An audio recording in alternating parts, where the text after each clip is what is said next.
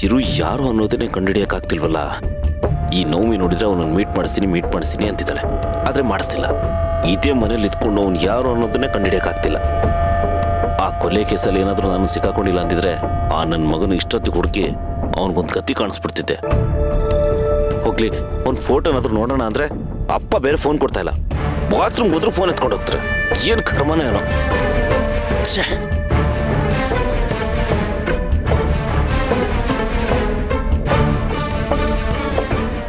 ಏನಪ್ಪಾ ಬೆಳಿಗ್ ಬೆಳಿಗ್ಗೆನೆ ತುಂಬಾ ಯೋಚನೆ ಮಾಡ್ತಿರೋ ಹಾಗಿದೆ. ಈಗ ಯಾರಿಗೆ ಪಂಗನಾಮ ಹಾಕ್ಬೇಕು ಅಂತಿದ್ಯಾ? ಅಮ್ಮ ನಿನ್ಗೆ ಯಾವಾಗಲೂ ನನ್ನ ಮೇಲೇನೆ ಅನುಮಾನ ಅಲ್ವಾ? ನನ್ನ ಬಗ್ಗೆ ಒಳ್ಳೆ ಯೋಚನೆ ಬರಲ್ವ ನಿಂಗೆ? ನೀನ್ ಯಾವತ್ತಾದ್ರೂ ಒಳ್ಳೆ ಕೆಲಸ ಮಾಡಿದ್ದೇನೋ ಮನೇಲಿರೋ ಅತ್ತೆ ಮಗಳನ್ನ ಒಂದು ದಿನನಾದ್ರೂ ಆಚೆ ಕರ್ಕೊಂಡು ಹೋಗಿದ್ಯಾ? ಅದು ಬೇಡ. ಮನೇಲಿರೋವಾಗ ಅವಳನ್ನ ಪ್ರೀತಿಯಿಂದ ಮಾತಾಡಿ. ಅವಳನ್ನ ನಿನ್ ಕಡೆ ಸೆಳ್ಕೋಬೇಕು ಅನ್ನೋ ಬುದ್ಧಿನೂ ಬೇಡವಾ ನಿನ್ಗೆ? ಅಜ್ಜಿ ನಾನೇನು ಸುಮ್ಮನೆ ಕೂತಿಲ್ಲ ಅಜ್ಜಿ. ಎಲ್ಲ ಪ್ರಯತ್ನಗಳನ್ನು ಮಾಡ್ತಾ ಇದ್ದೀನಿ. ಆದ್ರೆ ಯಾವುದು ವರ್ಕೌಟ್ ಆಗ್ತಿಲ್ಲ ಅಷ್ಟೇ.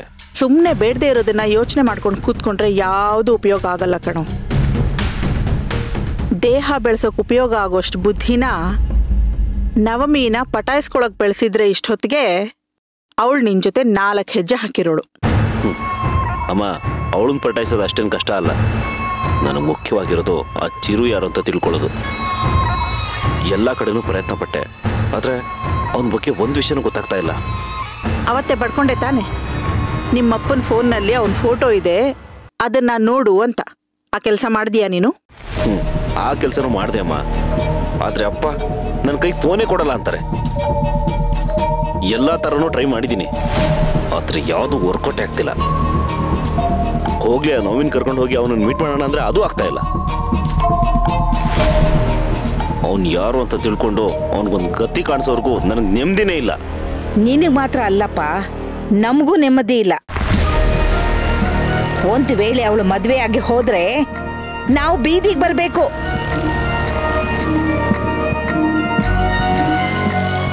ನಿಮ್ ತಾತನ್ಗೆ ನಮ್ಮ ಮೇಲೆ ಅದೇನ್ ಕೋಪ ಇದೆಯೋ ಗೊತ್ತಿಲ್ಲ. ಎಲ್ಲ ಆಸ್ತಿನೂ ಅವಳ ಹೆಸರಲ್ಲಿ ಬರೆದು ನಮ್ಮನ್ನ ಆಟ ಆಡಿಸ್ತಾ ಇದ್ದಾರೆ. ಅದೊಂದು ಇಲ್ಲ ಅಂದಿದ್ರೆ.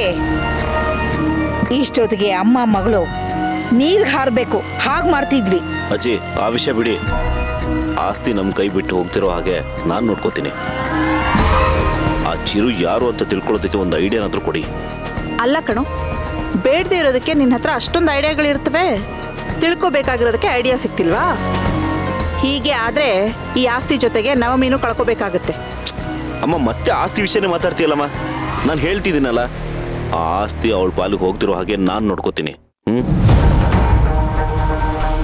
ಆದರೆ ಅದಕ್ಕೂ ಮುಂಚೆ ಆ ಚಿರು ಯಾರು ಅನ್ನೋದು ನನ್ಗೆ ಗೊತ್ತಾಗ್ಬೇಕು. ಅದಕ್ಕೇನಾದ್ರೂ ಇದ್ರೆ ಹೇಳಿ. ಇಷ್ಟೆಲ್ಲ ಯೋಚನೆ ಮಾಡೋ ಬದಲು ನೀನು ನಿಮ್ಮ ತಾತನ ಹತ್ರ ಹೋಗಿ, ತಾತ, ನವಮಿನ ಮದುವೆ ಆಗೋ ಹುಡುಗನ್ನ ನಾನು ನೋಡ್ಬೇಕು. ಒಂದ್ಸಾರಿ ಅವನ್ ಮನೆಗೆ ಹೋಗಣವಾ? ಇಲ್ಲ ಅಂದ್ರೆ ಅವನನ್ನೇ ಇಲ್ಲಿ ಕರೆಸಿ ಮಾತಾಡೋಣವಾ? ಆಗಲ್ಲ ಅಂತಾರ? ಅಜ್ಜಿ ನಿಮ್ಗೆ ತಾತನ ಬಗ್ಗೆ ಗೊತ್ತಿಲ್ಲ ಅಜ್ಜಿ. ನನ್ನ ನೋಡಿದ್ರೆ ಸಾಕು ಹೊರದು ಬೀಳ್ತಾರೆ. ಸುಮ್ ಸುಮ್ಮನೆ ಬೈತಾನೆ ಇರ್ತಾರೆ. ನಾನೇನಾದ್ರೂ ಹಾಕಿ ಕೇಳಿದೆ ಅಂತ ಇಟ್ಕೊಳ್ಳಿ. ಅದೆಲ್ಲ ನಿನಗೆ ಯಾಕೋ? ನಾವು ಯಾವಾಗಲೂ ಕರೆಸಿ ಮಾತಾಡಿದ್ದಾಯ್ತು. ಅವನ ಹತ್ರ ನಿನಗೇನು ಮಾತು ಅಂತ ನೂರು ಪ್ರಶ್ನೆ ಕೇಳ್ತಾರೆ. ಅವ್ರಿಗೆ ಉತ್ತರ ಕೊಡೋದ್ ಬದಲು ಸುಮ್ಮನಿರೋದು ವಾಸಿ ನೋಡು ಪ್ರಮೋದ ನಮ್ ಕೆಲಸ ಆಗೋವರೆಗೂ ಅದೆಷ್ಟೇ ಅವಮಾನ ಆದ್ರೂ ತಡ್ಕೋಬೇಕು ಕಣೋ. ಒಂದ್ಸಲ ನಮ್ ಕೆಲಸ ಆಯ್ತು ಅಂತ ಇಟ್ಕೋ. ಆಮೇಲೆ ಅವ್ರನ್ನ ಹೇಗೆ ಆಟ ಆಡಿಸ್ಬೇಕು ಅಂತ ನಮಗ್ ಗೊತ್ತಿದೆಯಲ್ಲ. ನೀವೇನೇ ಹೇಳಿದ್ರು ತಾತನಿಂದ ವಿಷಯ ತಿಳ್ಕೊಳ್ಳೋದಕ್ಕಾಗಲ್ಲ ಅವ್ರು ಅಷ್ಟು ಸುಲಭವಾಗಿ ನನ್ನ ನಂಬಲ್ಲ. ಒಂದ್ ಕೆಲ್ಸ ಮಾಡು. ನೇರವಾಗಿ ಆರ್ತಿ ಹತ್ರ ಹೋಗಿ ನೀನ್ ನಳಿ ಆಗೋ ನಾನು ನೋಡ್ಬೇಕು. ಒಂದ್ಸಾರಿ ಕರೆಸಿ ನನಗೆ ಪರಿಚಯ ಮಾಡಿಕೊಡು ಅಂತ ಕೇಳು. ನೀನ್ ಕೇಳಿದ್ರೆ ಅವಳು ಖಂಡಿತ ಒಪ್ಕೊಂತಾಳೆ. ಇದು ಒಳ್ಳೆ ಐಡಿಯಾನೇ.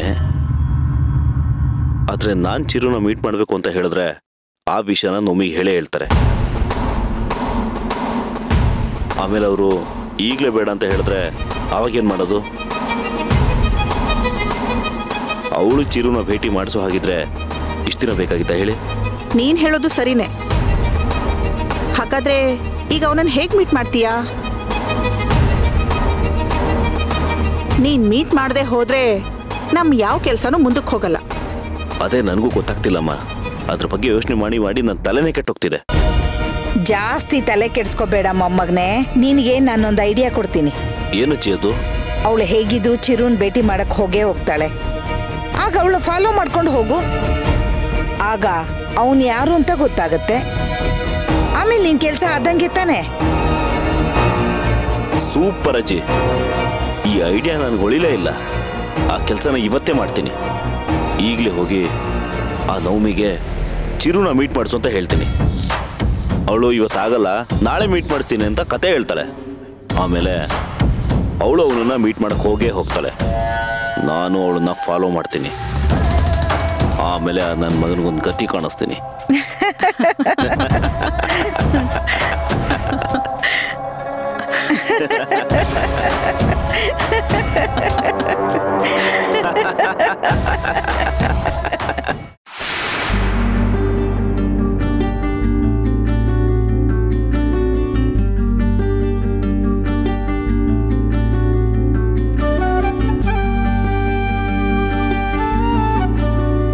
Dad good morning dad hmm good morning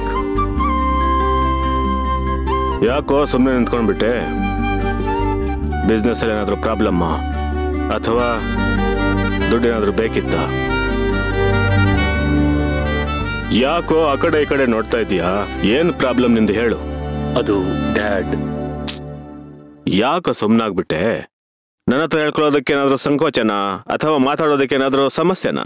ಬಾ ಹೊರಗಡೆ ಹೋಗಿ ಮಾತಾಡೋಣ. ಹಾಗೇನಿಲ್ಲ ಡ್ಯಾಡ್. ಅದು ಅದು ನನ್ನ ಬಿಸ್ನೆಸ್ ಪಾರ್ಟ್ನರ್ ಇದಾರಲ್ಲ ಹಾ. ಅವರು ನನ್ನ ಜೊತೆ ಬಿಸ್ನೆಸ್ ಮಾಡಲ್ಲ ಅಂತ ಹೇಳ್ಬಿಟ್ರು.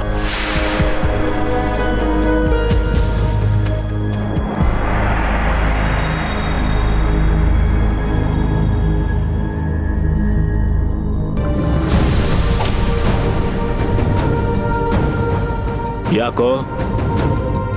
ಹೀಗೆ ಮಾತಾಡ್ತಾ ಇದೀಯಾ? ಬಿಸ್ನೆಸ್ ಯಾಕೆ ಮಾಡಲ್ಲ ಅಂತ ಹೇಳಿದ್ರು?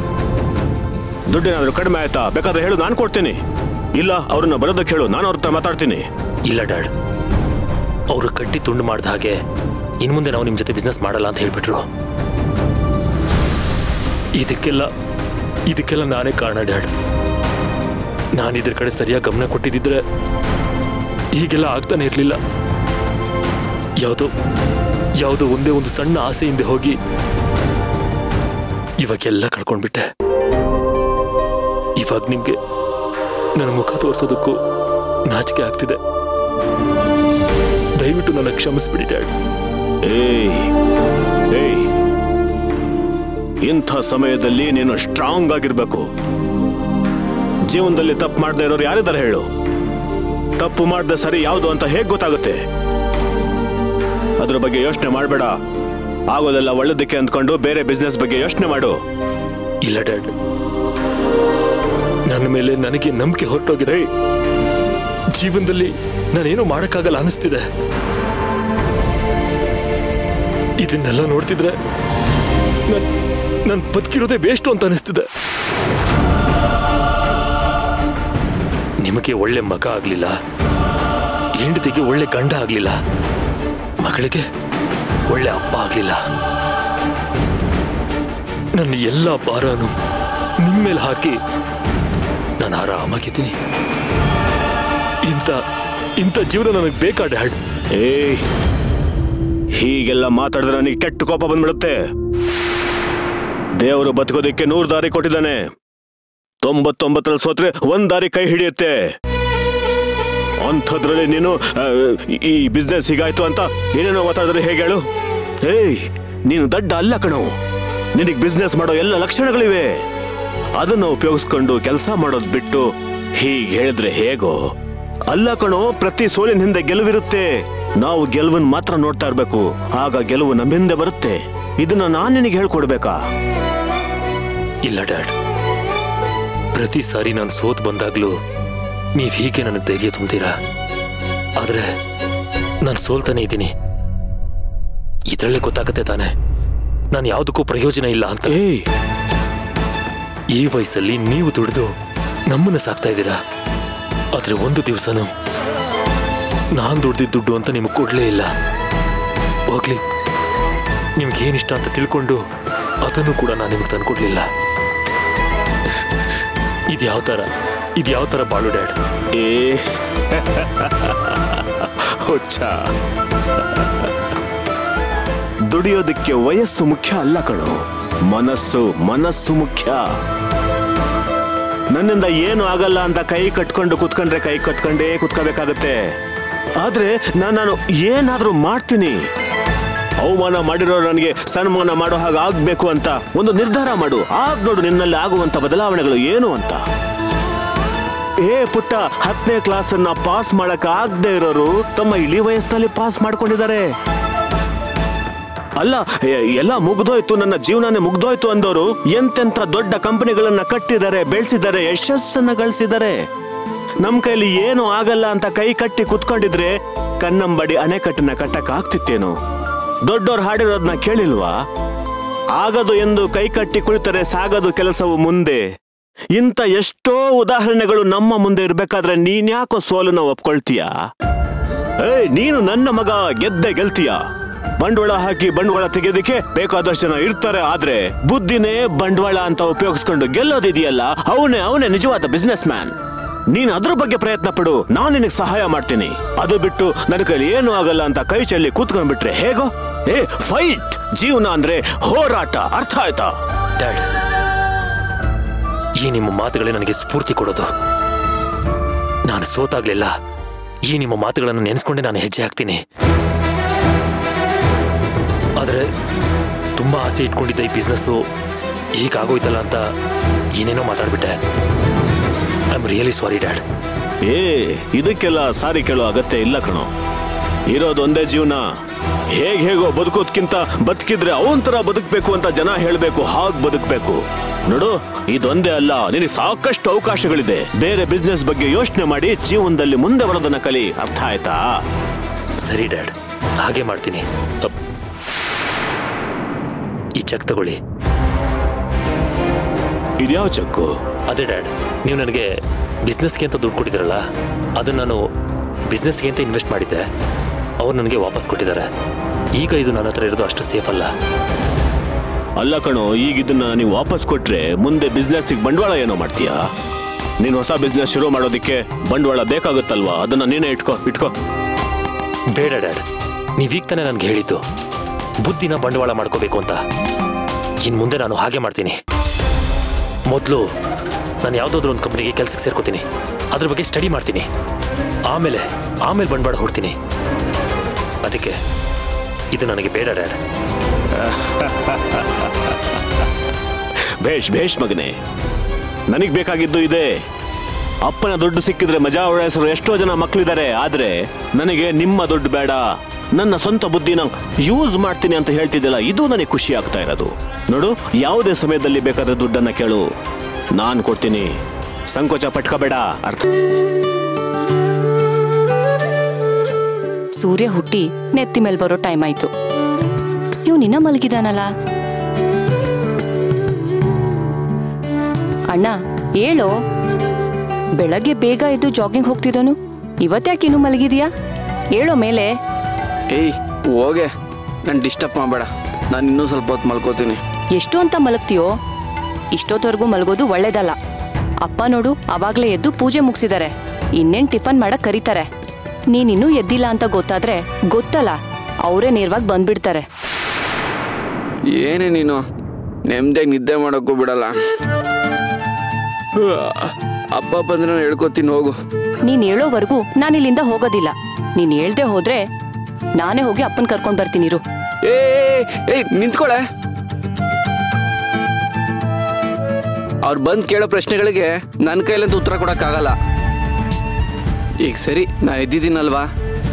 ಇಷ್ಟು ಬೇಗ ನಾನು ಯಾಕೆ ಎಬ್ರಿಸ್ತೆ ಅದೇಳು ಇಷ್ಟು ಬೇಗನಾ?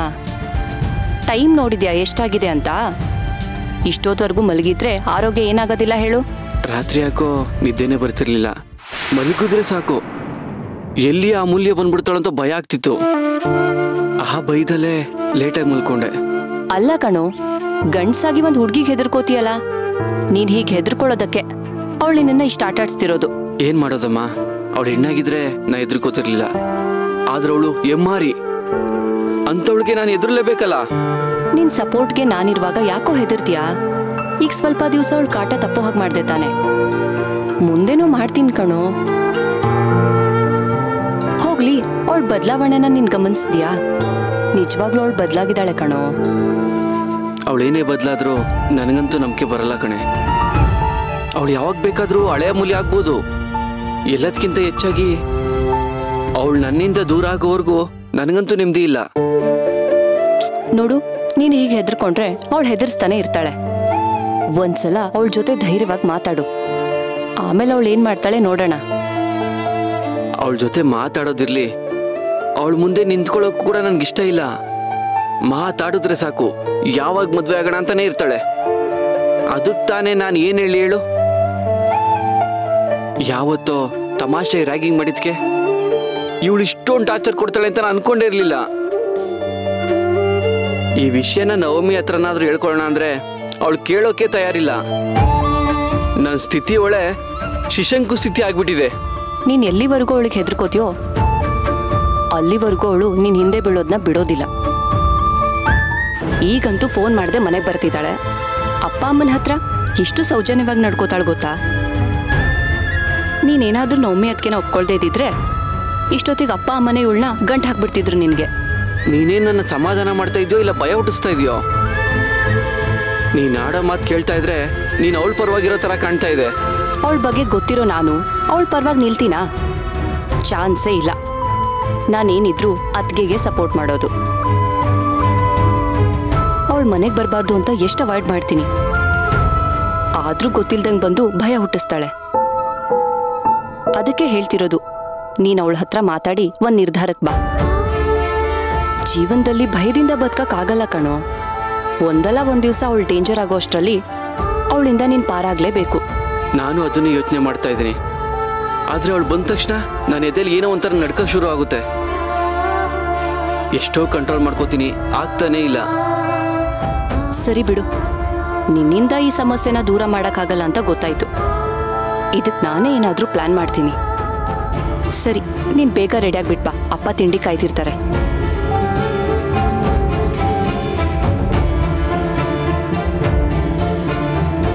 ಇಲ್ಲ. ಇನ್ನೂ ಈ ಅಮೂಲ್ಯನ ಸಹಿಸ್ಕೊಳ್ಳೋಕ್ಕೆ ನನ್ನ ಕೈಲಿ ಆಗಲ್ಲ. ಇವಳಿಂದ ನೆಮ್ಮದಿ ನಿದ್ದೆ ಮಾಡೋಕ್ಕೆ ಕೂಡ ಆಗ್ತಾ ಇಲ್ಲ. ಅವಳು ಮುಂದಿನ ಸಲ ಬಂದಾಗ ನಾನಿನ್ನ ಪ್ರೀತಿಸ್ತಾ ಇಲ್ಲ, ಪ್ರೀತಿಸೋಕ್ಕೂ ಆಗಲ್ಲ ಅಂತ ನವಮಿ ವಿಷಯನ ಎಲ್ಲಾನು ಹೇಳ್ಬಿಡ್ತೀನಿ. ಆಮೇಲೆ ಅವಳು ಏನು ಮಾಡ್ತಾಳೋ ಮಾಡ್ಕೊಳ್ಳಿ. ಸಾಯೋರ್ನ ಯಾರೂ ತಡಿಯೋಕ್ಕಾಗಲ್ಲ. ಏನು ಮೇಡಮ್ನವರು ಎಲ್ಲೋ ಸವಾರಿ ಹೋಗೋ ಪ್ಲಾನ್ ಮಾಡಿದ್ದೀರೋ ಹೇಗೆ? ಅದು ನವಮಿ ದೇವಸ್ಥಾನಕ್ಕೆ ಹೋಗಿ ಬರೋಣ ಅಂತ ಹೇಳಿದ್ಲು. ಅದಕ್ಕೆ ಅದಕ್ಕೆ? ಯಾಕೆ? ನಾವಾಗಲೇ ಹೇಳಿದ್ದನ್ನು ಅಷ್ಟು ಬೇಗ ಮರ್ತ್ಬಿಟ್ಟಿಯಾ? ಅಥವಾ ನಮ್ಮ ಗುರುಸ್ಬೇಕು ಅಂತ ಇಷ್ಟೆಲ್ಲ ಮಾಡ್ತಿದ್ಯಾ? ನಿನಗೆ ಒಂದು ಸಾರಿ ಹೇಳಿದ್ರೆ ಬುದ್ಧಿ ಬರಲ್ಲ ಅಲ್ಲ? ಇಲ್ಲ ಅತ್ತೆ. ಅದು ನಾನು ಒಬ್ಳೆ ಹೋಗ್ತಿಲ್ಲ. ನವಮಿನೂ ಬರ್ತಿದ್ದಾಳೆ ಅತ್ತೆ. ಅಪರೂಪಕ್ಕೆ ಹೊರಗೆ ಹೋಗೋಣ ಅಂತ ಹೇಳಿದ್ಲು. ಬರೋದಿಲ್ಲ ಅಂತ ಹೇಳಿದ್ರೆ ಅವಳು ಬೇಜಾರು ಮಾಡ್ಕೋತಾಳೆ. ಅವಳು ಬೇಜಾರು ಮಾಡ್ಕೊಳ್ತಾಳೆ ಅಂತ ನಮ್ಮ ಮಾತನ್ನು ತೆಗೆದುಹಾಕುವಷ್ಟು ಧೈರ್ಯ ಬಂದ್ಬಿಡ್ತಾ? ನಿನಗೆ ನಮ್ಮ ಮಾತು ಅಂದ್ರೆ ಅಷ್ಟ ಅಸಡ್ಡೇನಾ